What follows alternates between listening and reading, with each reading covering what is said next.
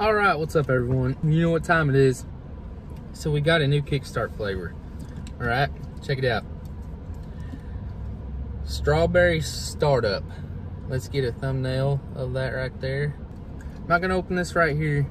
I've already had a few of these. I'm gonna give my honest review of it. I don't need to drink it right here to review it because I remember exactly what it tastes like. So we've got strawberry lemon flavor with other natural flavors. The pros, this isn't strawberry lemonade, it's strawberry lemon. So it's kind of like strawberry mixed with half the flavor of Mountain Dew.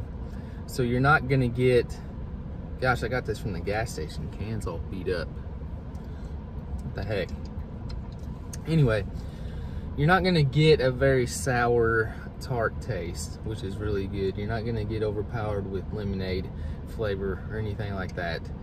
So that's one thing I like about it a lot. One thing I don't like about it, the cons, there's nothing really new here. It tastes a lot like the other Kickstarts, except with a hint of strawberry.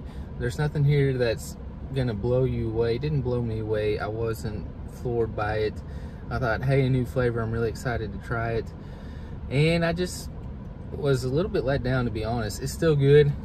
I'll still get it quite a bit, but it's not the best flavor. I still like black cherry Kickstart. So another thing I'm kind of disappointed about in Kickstart is they got rid of a lot of their flavors and I wish those would come back. So yeah, so short, simple, straight to the point, no nonsense food review. This gets a 7-1 out of 10. Still really good because I like Kickstart and it's a good flavor, but it's not something that's gonna floor you or be at the top of your list. So that's all there is to it.